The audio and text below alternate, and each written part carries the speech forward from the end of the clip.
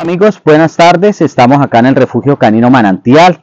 Eh, queremos mostrarles el avance del posoperatorio de la perrita Manchas. ¿Ustedes se acuerdan de ella? Que era de unas personas migrantes. Bueno, mírenla cómo está. Ya a una semana de su cirugía, está ya prácticamente recuperada, ya cicatrizada. Como ven, ahí solo le falta que le salga pelito y listo. Es una perrita muy cariñosa. ¡Manchas! ¡Manchas! ¡Ay, manchas! Contenta, mire.